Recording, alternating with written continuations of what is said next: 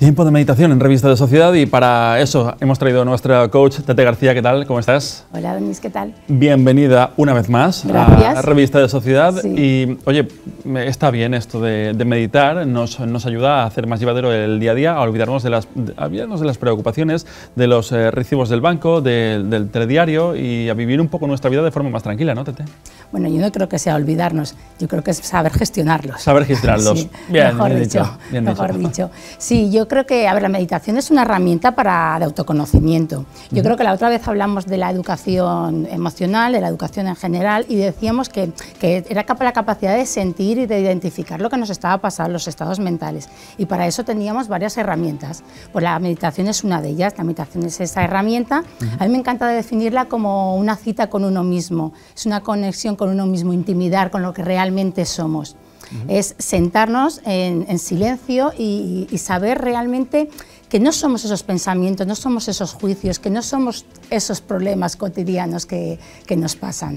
Claro, pero a veces eh, se nos hace un poquito complicado ¿no? el, poder, eh, pues bueno, evadirnos de, los problemas o, o del Claro, pero es que no sé evadirnos. O sea, es verdad que la meditación sí que ayuda a reducir el estrés, ¿vale? Porque al final lo que hace también es reducir el cortisol, que es la hormona del estrés, ¿vale? Entonces tiene muchísimos beneficios. Pero no es olvidarnos, sino simplemente es cómo afrontamos. Porque la realidad siempre es neutra, Donis. Lo que pasa es que depende de la percepción de cada uno, en función de las creencias, pensamientos, juicios que tengamos. Bien, eh, la primera pregunta de bombero viene ahora, ¿de acuerdo?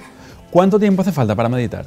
Bueno, a ver, la meditación es una práctica. Esto es como cuánto hace falta para hacer un, ejercicio. Pues, te, he avisado de que era pregunta de bombero. Por esto es la constancia, claro. Cuanto más constante, cuanto más entrenes, al final es un entrenamiento de la mente. Bueno, eh, un saludo al cuerpo de bomberos, que no he querido decir nada, eh, que nadie se, enfade, más, es una expresión. Bien, eh, ¿de qué manera podemos hacerlo? ¿Cómo, cómo, o sea, ¿Cómo se medita? A ver, aprender a meditar es muy fácil, más hoy en día, porque es que está a la orden del día. O sea, no es que sea una moda, sino que yo creo que es va más allá de un estilo de vida que vamos adoptando. Entonces, meditar, evidentemente, pues depende de, las de la variedad que quieras. El, mindfulness, por ejemplo, que ahora está tan de moda también con este término, es una atención plena a lo que hagas, no ya simplemente el hecho de sentarte en silencio con los ojos cerrados y, empezar a, ver qué pasa, porque al final meditar es aceptar lo que hay, la realidad, es, ver la realidad tal cual. El mindfulness, por ejemplo, puede ser eh, la atención plena a cómo estás comiendo, a lo que estás pintando, a, lo que estás, a cómo estás andando. Entonces, depende de la, meditación, pero evidentemente la meditación por la que yo abogo, que es la meditación más de, más de fondo, es la meditación donde nos sentamos, donde empezamos a dejar y a conectar con nuestros sentimientos, con nuestras sensaciones corporales, viendo los pensamientos que están viniendo. Los beneficios, pues evidentemente son muchos. Es decir, aprender a llevar las situaciones, pues de entrada ya es un beneficio. Hombre, claro, por supuesto. A ver, es tener una lucidez mental. O sea, depende del objetivo, también tienes el, beneficio que quieras conseguir con la meditación, porque el objetivo puede ser un momento de relajación, como paliar unos dolores físicos, como em, gestionar unas disfunciones cognitivas de, la mente, descansar, te ayuda a, recuperar, a, o sea, no tener insomnio. Y sobre todo lo más, lo más importante yo creo que es la conexión con la vida, la conexión con uno mismo, saber que no somos esa mente, que no somos ese ego, no somos ese personaje que nos hemos forjado. Para aquellos que tenemos eh, bueno, eh, mala memoria, que somos un poquito despistados a veces, esto también nos puede ayudar. Claro, evidentemente la concentración porque esto al final es una disfunción cognitiva. Entonces nos ayuda a la atención plena, a la concentración, a la empatía y luego ya de fondo cuando conectamos realmente con quiénes somos, con, o sea, que ya no es este cuerpo, este yo biográfico, eh, biográfico, sino nuestra esencia, pues claro, conectamos con, con la compasión, con la autocompasión con el amor, claro, con la lucidez mental, claro, eso nos ayuda a lo que decíamos antes del día a día, claro, cuando tú tienes claridad mental, aunque hayan problemas, o sea, los puedes solucionar. A mí me encanta decir que esta metáfora, porque es como cuando tenemos una situación complicada, tenemos que tomar una decisión, estamos dentro de un cuadro. Si nosotros estamos dentro del cuadro, evidentemente no vemos el perfil, no vemos el marco, no vemos los colores. En cambio, con la meditación nos ayuda a salirnos del, a disociarnos, a salirnos del cuadro. Claro, ver el cuadro desde otra óptica, pues ayuda mucho. Eh, Tete, ¿podríamos decir, o es un poco aventurado decir que la meditación mejora la salud y tal cual, eh, de forma literal? Totalmente porque mejora el bienestar. Entonces, claro, muchas veces los problemas de salud vienen, eh, vienen por emociones que se, que se han quedado bloqueadas.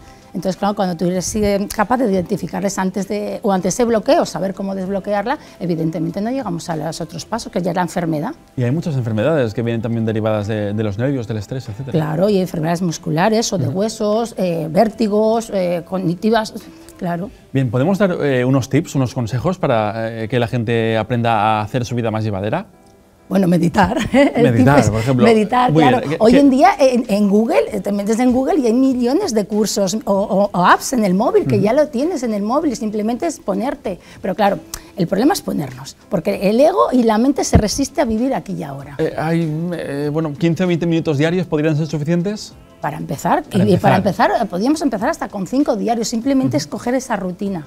Y luego ya, el tiempo ya depende de cada uno. Cuanto más meditas, también más, más te engancha porque los beneficios y, la plenitud que sientes es mucho más, claro, mucho mayor. Bien, entonces, eh, Tete, por ejemplo, para, eh, para empezar a meditar, aquellos que, como yo, por ejemplo, pues no tenemos el hábito de hacerlo, 15 o 20 minutos en un lugar, eh, ¿cómo? ¿Cómo ha de ser la luz? Eh, ¿cómo, lo más tranquilo posible, claro, por lugar cálido, en lugar tenue, la luz, la luz tenue, estar cómodo, sentado, o sea, puedes estar sentado en una silla, o sea, no es que no hace falta la meditación de la flor de loto que estábamos hablando, viendo aquí en una de las imágenes, pues sentar en una silla siempre que estés con las, con las plantas de los pies apoyadas en el suelo, la espalda recta, hombros hacia atrás, la barbilla un poco inclinada hacia abajo y la mandíbula ligera. O sea, dejarte, o sea, dejarte conectar con lo que venga. Eh, uno puede decir, a ver, yo es que, no sé, a lo mejor estoy más relajado si estoy tumbado en la cama, por ejemplo. No, bueno, no sé. Pero vamos, tienes también la posibilidad de acabar quedándote dormido. Esto es otra, exactamente. Hay que valorar pros y contras. Claro, pero es que depende de la meditación, porque lo que te decía antes, el, el mindfulness es una meditación que puedes hacerla en movimiento porque una meditación andando, por ejemplo, es estar en atención plena a lo que estás haciendo. ¿Pero de qué manera? Yo, creo, yo no me siento capaz de, hacer eso. Bueno, eso es al principio. Ahora, esos son los miedos, eso es el ego, eso es la mente lo que te resiste. Pero claro que somos todos capaces, no hay ningún perfil que unos puedan y otros no puedan. Tete, cuando salga de plato, eh, ¿cómo, eh, qué, ¿qué le digo a mi mente?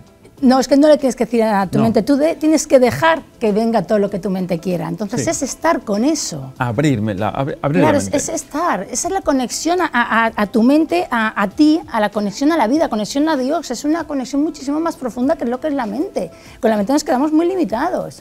Vale, y para hacerlo a la clásica usanza, eh, diríamos un lugar eh, tranquilo, relajados con los pies, con las plantas de los pies en el suelo bueno, si estás sentado en una silla, sí, si estás sentado en la flor del loto, pues claro, como la flor del loto. Claro. vale. Y la puedes hacer tú solo, como, como, como tenemos grupos eh, que lo hacemos con meditación conjunta con muchísima gente, que entonces, claro, la energía es muy potente, se, se, crea un clima ah, especial. Se crea un clima especial. Bueno, eh, a veces la música también puede ayudar, ¿no?